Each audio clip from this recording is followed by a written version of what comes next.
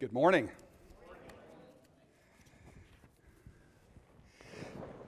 We, I think you should find some yellow cards somewhere near where you're seat- seated, um, hopefully. I'm going to ask that you fill those out. That's how we keep track of who's here.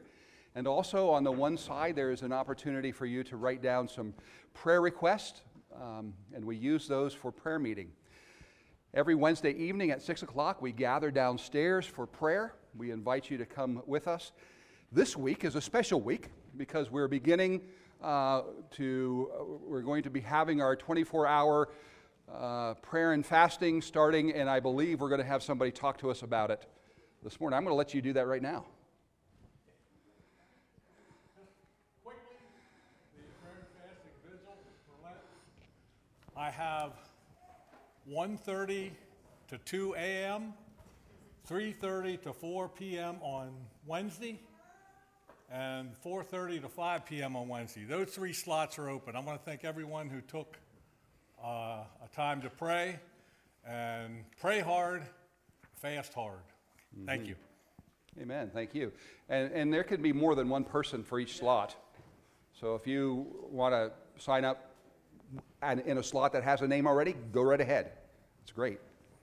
Um, also on March 7th at 7 p.m., we'll be having our ministry council meeting. So that we do not uh, disturb folks who are praying in the sanctuary, Ministries Council will meet downstairs in that long room next to the church office. So just be aware of that. Uh, the Pastor Parish Relations Committee will meet on Thursday, March 9th at 11 a.m. Just be aware of that time, 11 a.m. Daylight savings time begins next Sunday, March 12th. Remember to turn your clocks ahead. Okay, if you show up to church at the time you showed up today, you'll be late. Probably can join me. Okay? Uh, daylight savings time, remember that. Men of Zion will meet then on that same Sunday, March 12th at 8 a.m., even though our bodies will think it's 7. The United Women of Faith will meet on Tuesday, March 21st at 7 p.m. We will be having our Bible study on Wednesday, March 28th at 7 p.m. I understand we have another announcement.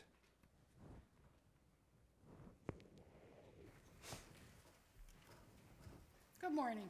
Good morning. I said I'm in full blown Easter mode. They told me I even dressed appropriately this morning. I'm working on our Easter extravaganza. I know a lot of you have already volunteered to help. If I didn't ask you and you would like to help, please see me. But I need some things. We're going to make sock bunnies. So I'm looking for socks. I can go out and buy socks, but especially those of you with kids, I bet you have that basket of odd socks. I remember my kids were growing up, I don't know where they went, but there was always a basket. If you would like to buy some socks, that would be great, but I, I didn't want to use money to go out and buy 60 socks. Hmm. And I'm talking like, like these, like crew length socks, not big tall knee socks. We're just going to put a cup of rice in them and use some rubber bands and make some bunnies. So I'm looking for socks. That back window back there is a great place to put them. I do not need any more toilet paper rolls. Thank you for all of you that saved those for us. We have plenty back there now. I do need about 20 more cardboard egg cartons. There's a stack of them back there. I had just mentioned to a few people that I was looking for those. We're going to make painted flowers out of them. So mm-hmm. if you have those, again, that back window is a good place for them. As usual, candy. You know, we can't have an Easter egg party without candy. Individually wrapped candies. We always give the kids a little goodie bag full of candy when they leave. And I don't know, most of you are probably aware, instead of an egg hunt, several years ago it had rained the whole week hmm. up to the Easter egg hunt. And we really couldn't send the kids out in that muddy, messy yard to pick up Easter eggs. So we started doing something different. We put a bag of eggs or a basket of eggs at each station. The kids do all kinds of crafts and face painting, and they get to pick up eggs at every station. Hmm. All those eggs are filled. They either have candy or The last couple years, we put quarters in them. I don't know, with inflation, I might have to start putting two quarters in them. Or it's a prize. So I need individual small candies to fill their bags and to put in the eggs. And one last thing, we need prizes. The, the fun part of doing the eggs like we're doing is if they get a prize egg, they can immediately go to the prize table and pick out their prize. They don't have to wait till the end when 20 kids are all crushed in and nobody really gets what they want. So I need prizes. And the only other thing I have is next Sunday, immediately after worship, I'm asking everyone that volunteered to help if they could just stay for just a few minutes. I'm going to have all the crafts ready to hand out, just everything every station will need. I'm going to hand it to each of you so that we're all organized and ready to go. If you have any any questions, call me, yell at me, whatever. But keep in mind, I'll have um, Tina put this list of things we're looking for, probably in the email this week and in the bulletin.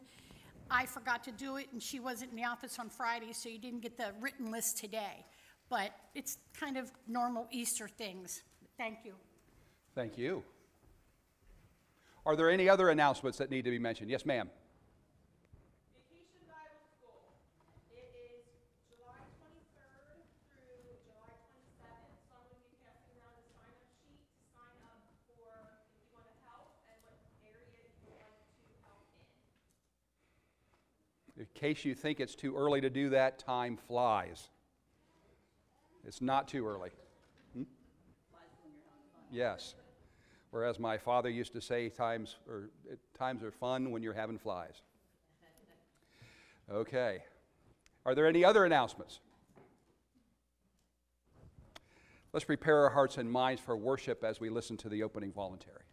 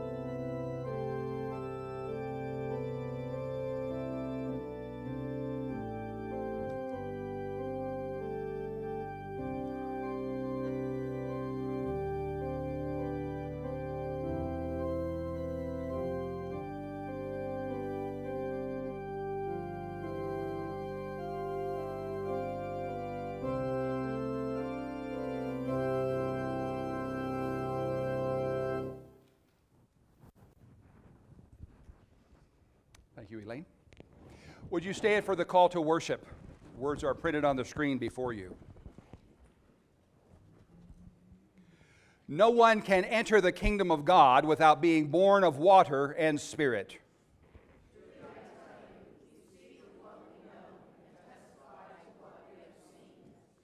Everyone who believes in the Son of God may not perish but have eternal life.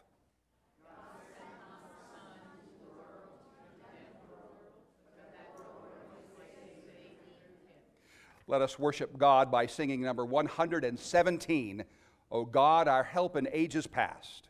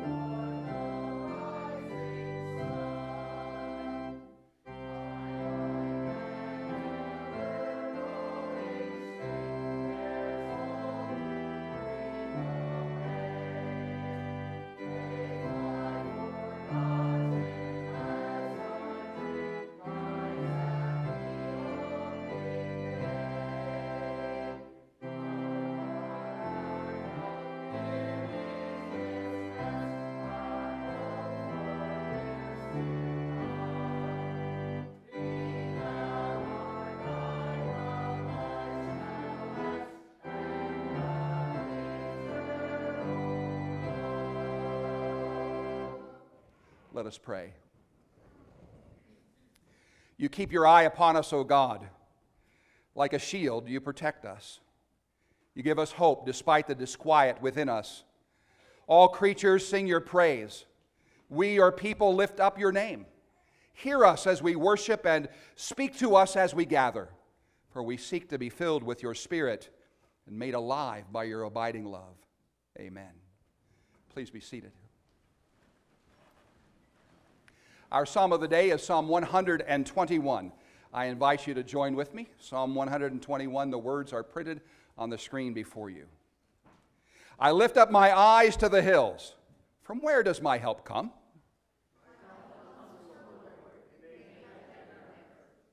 He will not let your foot be moved. He who keeps you will not slumber.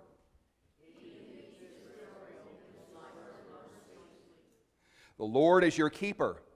The Lord is your shade at your right hand. The sun shall not strike you by day, nor the moon by night. Oops.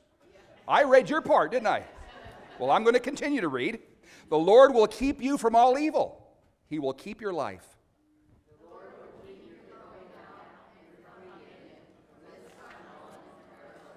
Amen. Our act of praise has created me a clean heart. You may remain seated as we sing together.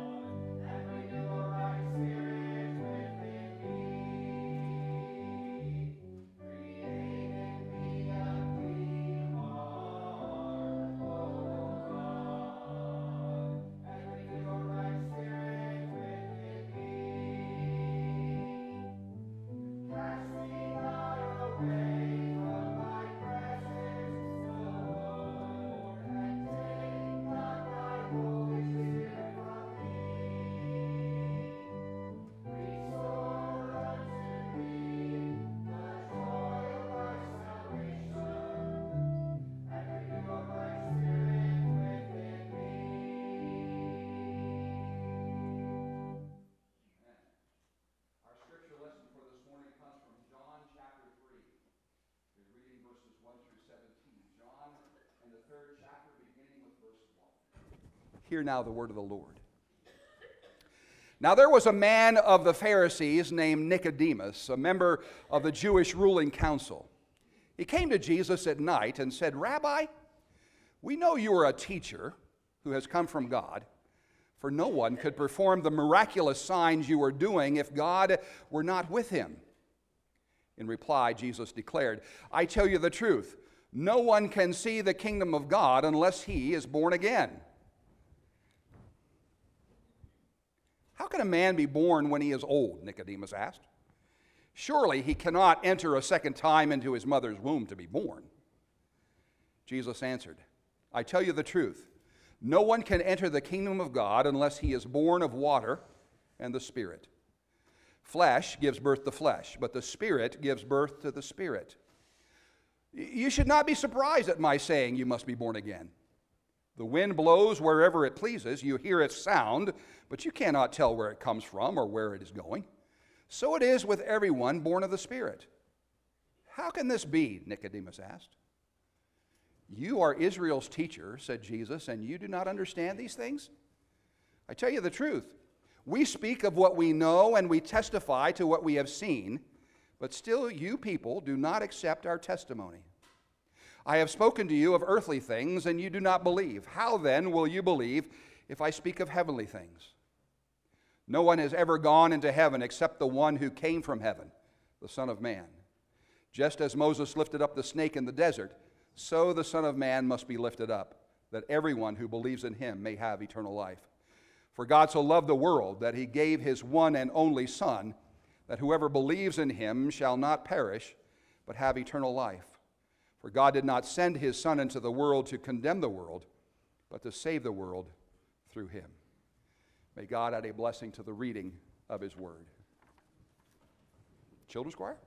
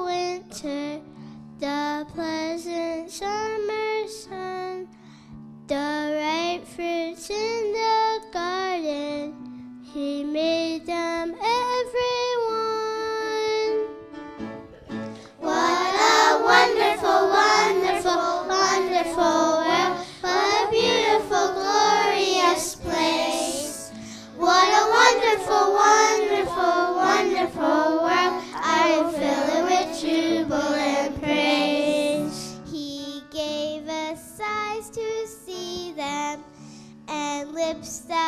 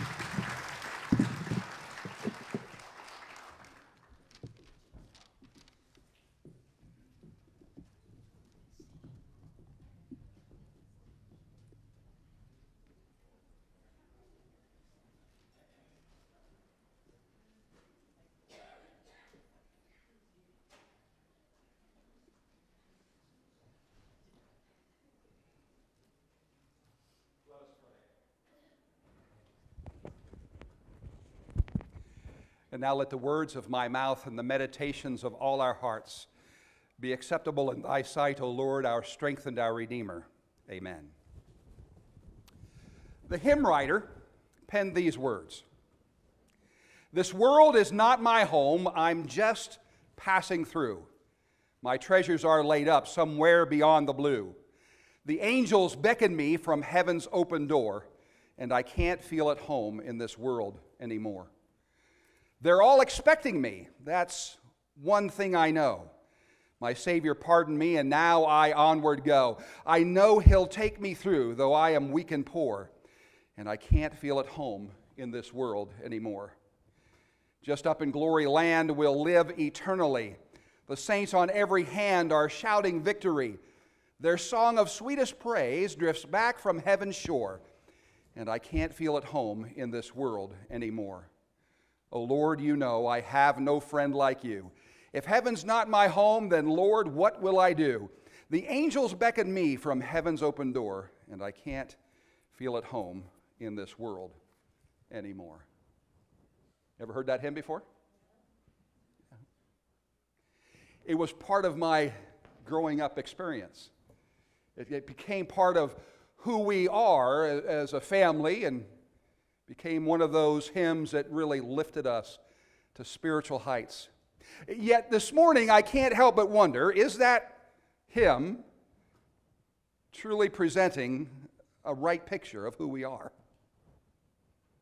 Are Christians really just passing through this world?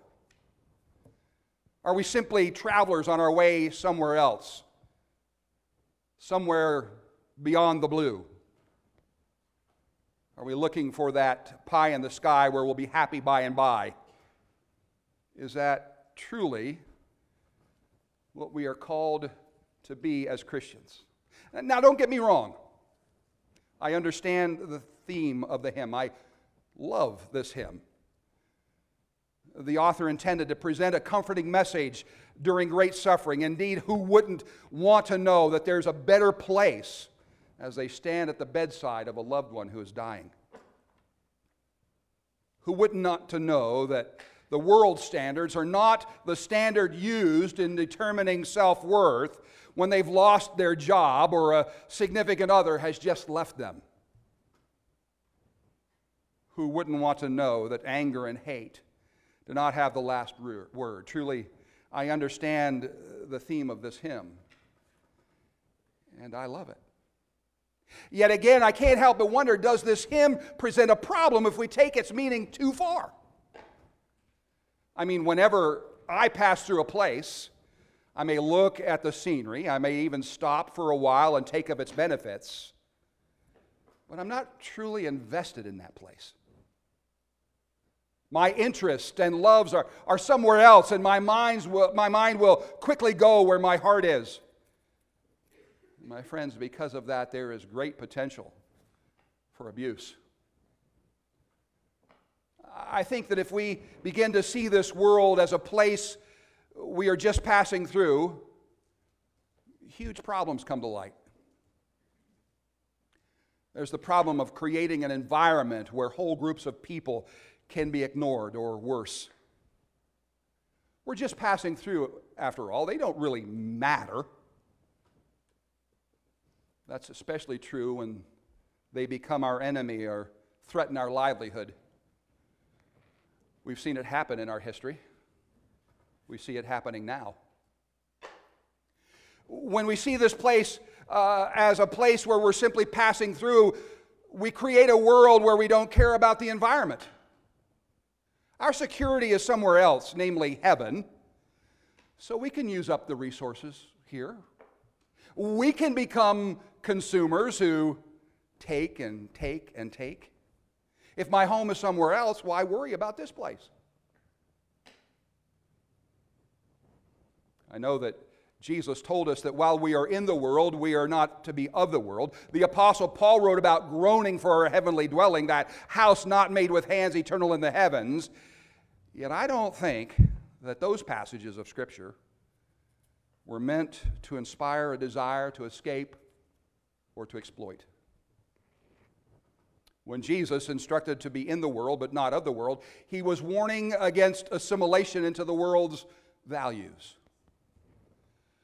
When Paul talked about groaning, he was pointing out that there was something wrong with creation, but he added more. He would write whether we are at home on earth away from God or away from home and with God, we are constantly ambitious and strive earnestly to be pleasing to God. Therefore, the real issue is the kingdom of God and when that kingdom starts. Is the kingdom coming or is it now?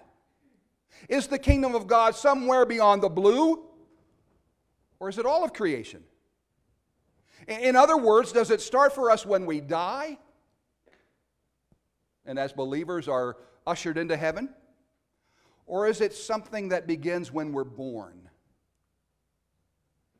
I'd like to suggest this morning that the kingdom of God begins when we're born, specifically when we are born again. Jesus said, I assure you, unless you are born again, you can never see, the kingdom of God.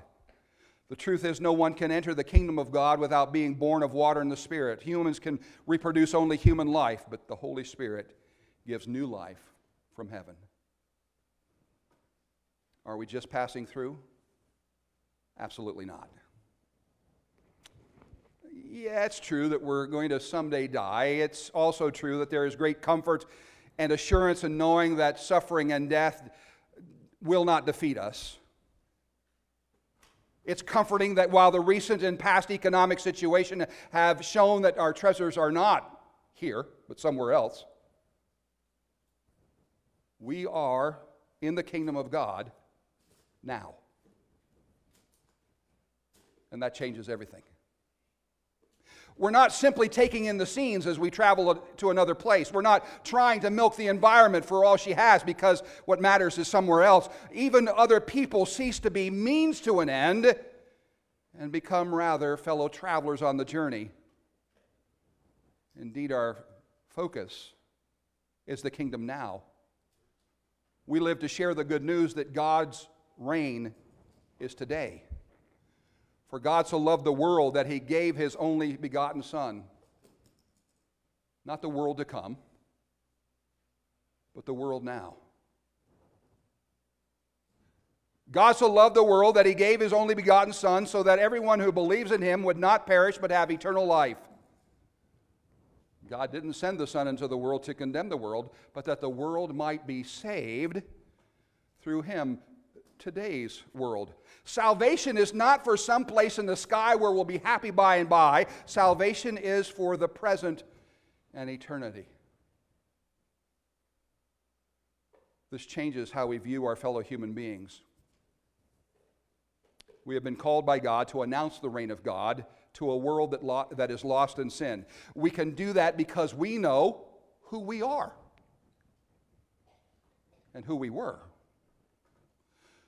We know the tremendous sacrifice given to make us who we are. We know further that if that transformation can happen in our hearts, it can happen in any heart. So instead of seeing our neighbor as an enemy, instead of zoning in on the offense, we can see our neighbor as someone with divine worth because they are someone for whom Jesus died. This changes how we live. Personal and social sin results in the accumulation of wealth on the one hand and the neglect of our fellow human beings on the other. Jesus said, The Spirit of the Lord is upon me because He has anointed me to bring good news to the poor. He has sent me to proclaim release to the captives and recovering of sight to the blind, to let the oppressed go free, to proclaim the year of the Lord's favor. My friends, to proclaim that it was the year of the Lord's favor was to proclaim that Jubilee had come. Jubilee was and is that time when debt was canceled and slaves and captives were set free. If we see this present age as the kingdom of God, then we, by definition, live to proclaim Jubilee. We live to proclaim redemption from sin. Not that we do the redeeming, but we lift up the one who does. This changes the way I pray. I don't rejoice anymore when I begin to think that the end is near. I, I believe wholeheartedly that we are in the end times, but I don't rejoice over that. In fact, I lament that. And I've said this to you before, I know. I lament it because I have friends and family who have never surrendered their life to Jesus. And if Jesus returns before they surrendered their life, then they are lost. And that is not acceptable to me. And so I pray for their salvation. The apostle Peter wrote in 2 Peter 3 9, the Lord is not slow about his promise, as some think of slowness, but is patient with you, not wanting any to perish, but all to come to repentance. Therefore I pray, sisters and brothers, thy kingdom come, not because I want to get to heaven quick, but that the Lord would be re- that, that the Lord would quickly renew the world Indeed, this changes everything. Now, does this mean that we're in heaven now? Again, no, it doesn't. We still find ourselves in this world with all its problems and all of its sin, indeed, all of our sin. This world in which we live is still broken and scarred by that sin.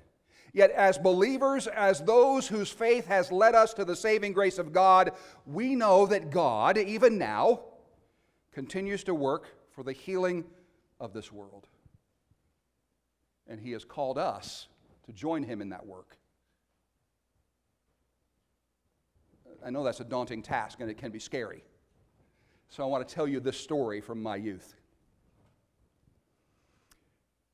When I was just little, I think I was in kindergarten, second grade, kindergarten, first grade, we lived in Kansas City, Missouri. And we lived on this city block and, uh, you know, kindergarten, first grade's that age when you learn how to ride a two wheeler bike. Right? Yeah. Well, my dad, being from the generation that he was from, did not believe. I'm telling you, if you put training wheels on your bike, you were going to go straight to hell. You do not put training wheels on a bicycle, according to my dad. Thankfully, I grew up, didn't say that to my kids. But, anyways. So, how did I learn how to ride a bicycle? Well, my dad would put me on the bicycle and then hold on and run behind me and say, okay, pedal, pedal, pedal. And all the while I'd say, Dad, don't let go, don't let go, don't let go.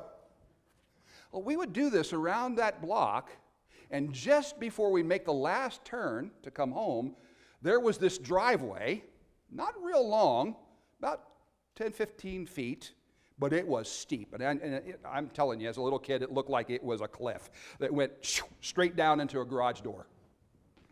Well, Dad, in his infinite wisdom, let go of the bike right there. And guess what? Bang! Right into that garage door. And I'm crying, you know.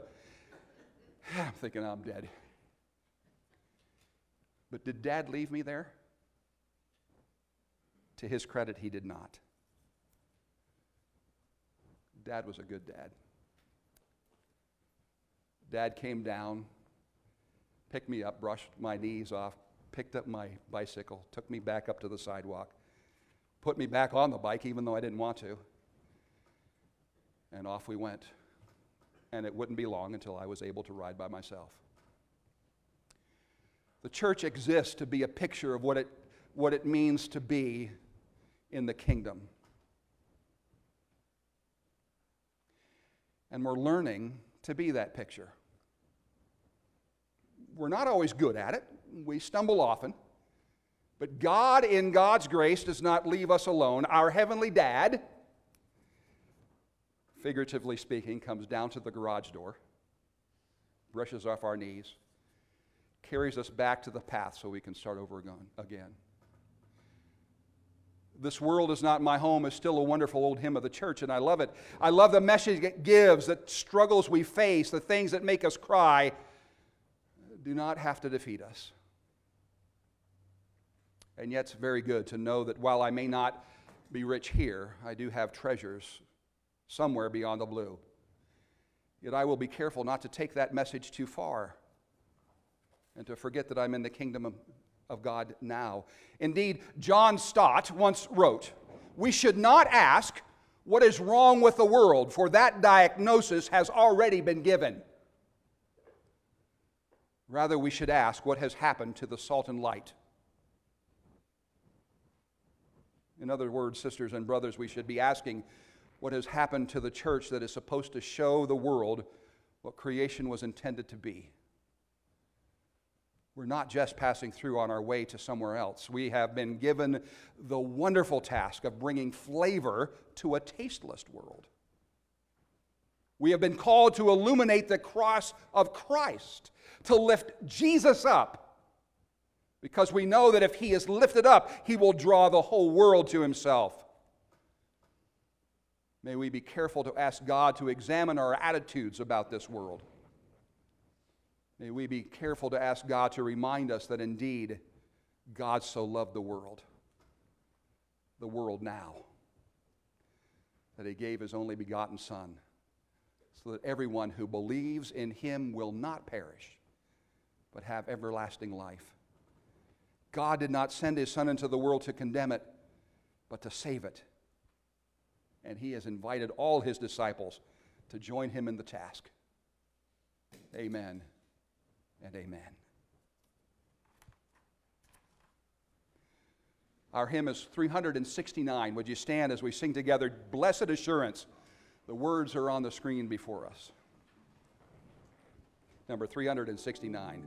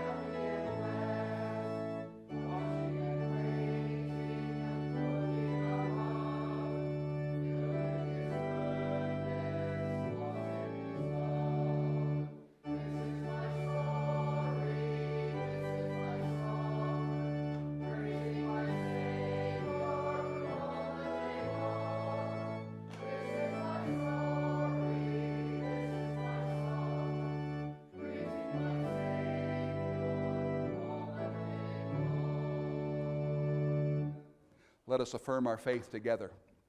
I believe in God the Father Almighty, creator of heaven and earth. I believe in Jesus Christ, his only Son, our Lord, who was conceived by the Holy Spirit, born of the Virgin Mary, suffered under Pontius Pilate, was crucified, died, and was buried. He descended to the dead. On the third day, he rose again. He ascended into heaven, is seated at the right hand of the Father and will come again to judge the living and the dead. I believe in the Holy Spirit, the Holy Catholic Church, the communion of saints, the forgiveness of sins, the resurrection of the body, and the life everlasting. Amen. Please be seated.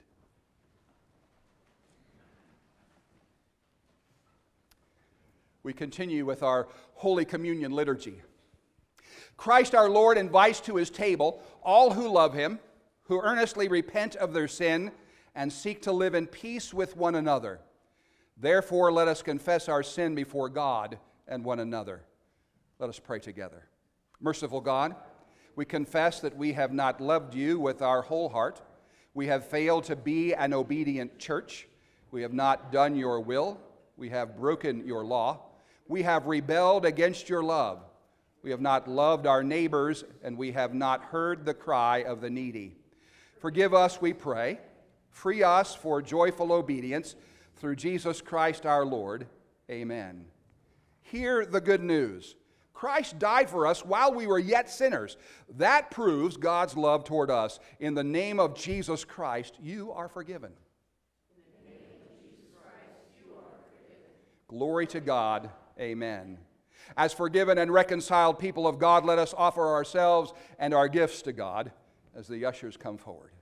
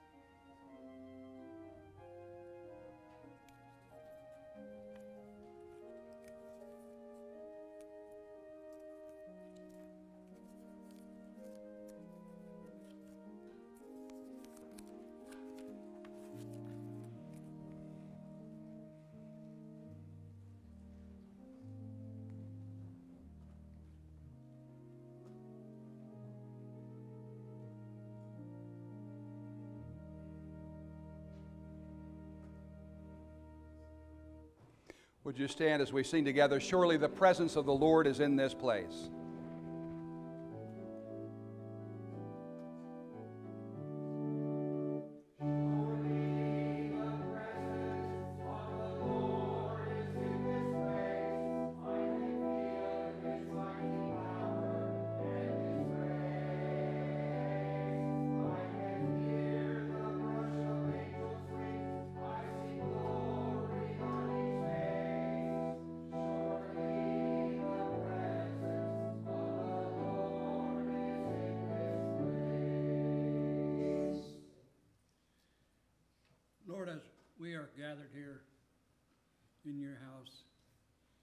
Your presence is here. We can feel it.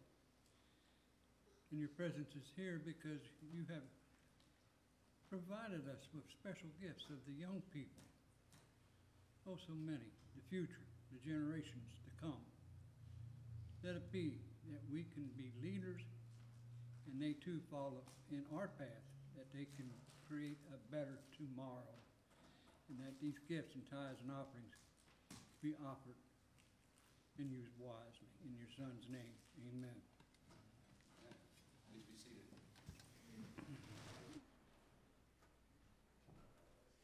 Please join me in the great thanksgiving as it is printed uh, on the screen for you. The Lord be with you. Lift up your hearts. Let us give thanks to the Lord our God. It is right and a good and joyful thing, always and everywhere, to give thanks to you, Father Almighty, Creator of heaven and earth. You formed us in your image and breathed into us the breath of life. When we turned away and our love failed, your love remained steadfast. You delivered us from captivity, made covenant to be our sovereign God, and spoke to us through the prophets. And so, with your people on earth and all the company of heaven, we praise your name and join their unending hymn. Holy, holy, holy Lord. God of power and might. Heaven and earth are full of your glory. Hosanna in the highest. Blessed is he who comes in the name of the Lord.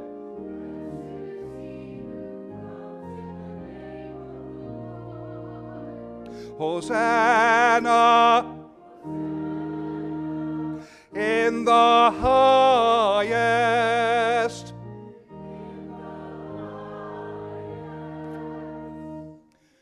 Holy are you, and blessed is your Son, Jesus Christ. Your Spirit anointed him to preach good news to the poor, to proclaim release to the captives and recovering of sight to the blind, to set at liberty those who are oppressed, to announce that the time had come when you would save your people. He healed the sick, fed the hungry, and ate with sinners. By the baptism of his suffering, death, and resurrection, you gave birth to your church delivered us from slavery to sin and death, and made with us a new covenant by water and the Spirit. When the Lord Jesus ascended, he promised to be with us always in the power of your word and Holy Spirit. On the night in which he gave himself up for us, he took bread, gave thanks to you, broke the bread, gave it to his disciples, and said, Take, eat. This is my body, which is given for you. Do this in remembrance of me. When the supper was over, he took the cup, gave thanks to you, gave it to his disciples, and said, Drink from this, all of you. This is my blood of the new covenant, poured out for you and for many for the forgiveness of sins. Do this as often as you drink it in remembrance of me. And so, in remembrance of these, your mighty acts in Jesus Christ, we offer ourselves in praise and thanksgiving as a holy and living sacrifice in union with Christ offering for us as we proclaim the mystery of faith. Christ has died. Christ is risen. Christ will come again.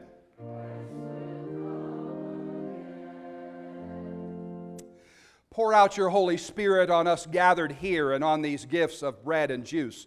Make them be for us the body and blood of Christ, that we may be for the world the body of Christ, redeemed by his blood. By your Spirit, make us one with Christ, one with each other, and one in ministry to all the world until Christ comes in final victory and we feast at his heavenly banquet. Through your Son, Jesus Christ, with the Holy Spirit in your holy church, all honor and glory is yours, Almighty Father, now and forever.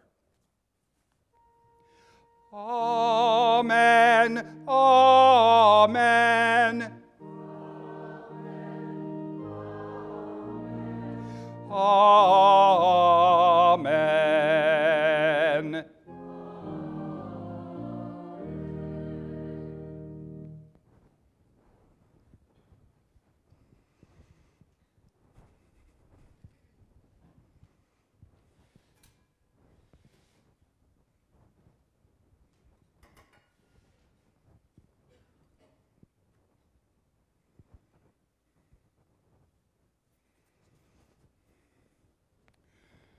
Body of Christ broken for you.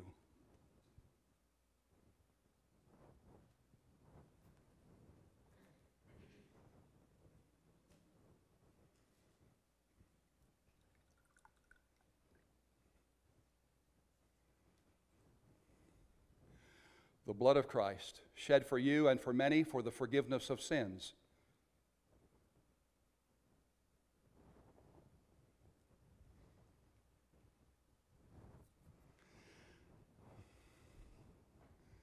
Table is open for anyone who wishes to partake. And the ushers are going to come and they're going to pass the bread and the juice to you. Um, take a piece of the bread, hold it until I instruct you to eat it. Afterwards, you'll take a cup and drink it when I tell you to. Um, you're not required to do this. We're not forcing you to do anything. If you don't want to, that's fine, just let it go by. But we pray that you will experience the grace of God through this meal. And that we pray that you also would understand that it's open to everybody. Nobody, uh, regardless of how old or young you are, regardless of whether you're a member or not, no one is excluded. Would the ushers come?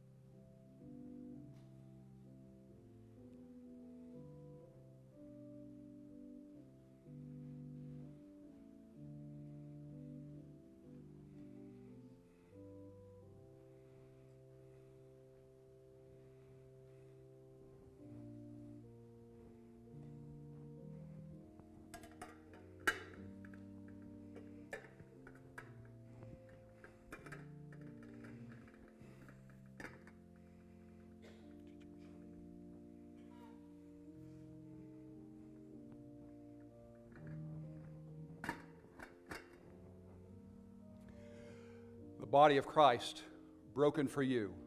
Take, eat in remembrance of Jesus.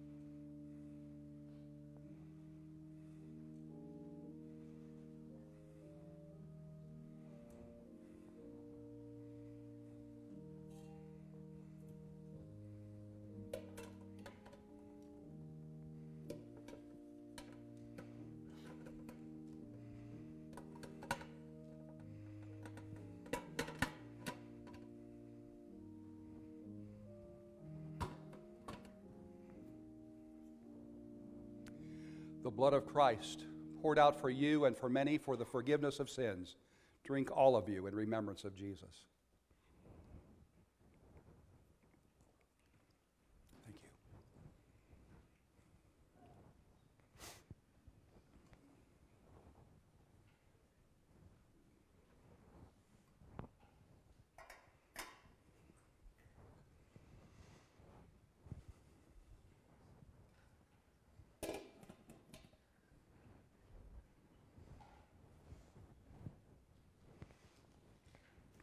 Let us pray. Eternal God, we give you thanks for this holy mystery in which you have given yourself to us. May it enlighten us to the truth. Grant that we may go into the world in the strength of your Spirit to give ourselves for others in the name of Jesus Christ our Lord. Amen. Our sending hymn is number 389. 389, would you stand as we sing together? Freely, freely, the words are also on the screen before you.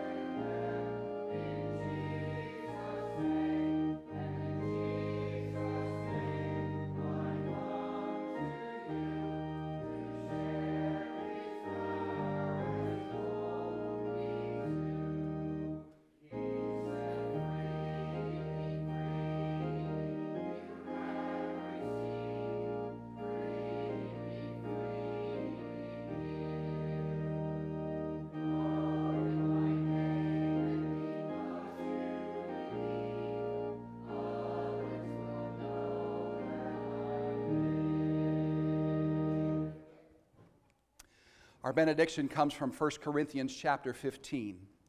Therefore, my beloved brothers and sisters, be steadfast, immovable, always abounding in the work of the Lord, knowing that in the Lord your labor is not in vain. Amen and amen.